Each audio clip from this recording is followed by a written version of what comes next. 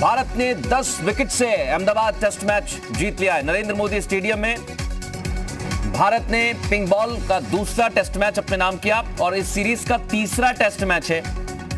इस मैच में इंग्लैंड की टीम शुरुआत से ही लड़खड़ाती नज़र आई। टॉस ज़रूर जीता, लेकिन उसके बाद इंग्लैंड की बल्लेबाजी उस तरह की नहीं रही और 112 रन पहली पारी में इंग्लैंड टीम बना पाई। कल का दिन ठीक रहा, भारतीय बल्लेबाजों ने भी। आज उस तरह की बल्लेबाजी नहीं की। रोहित शर्मा के अलावा पूरी टीम ऑल आउट हो गई, लेकिन उसके बाद अक्षर पटेल ने पहली इनिंग में भी छह विकेट लिए और दूसरी इनिंग में भी इंग्लैंड के बल्लेबाजों को टिकने नहीं दिया और पाँच विकेट झटके।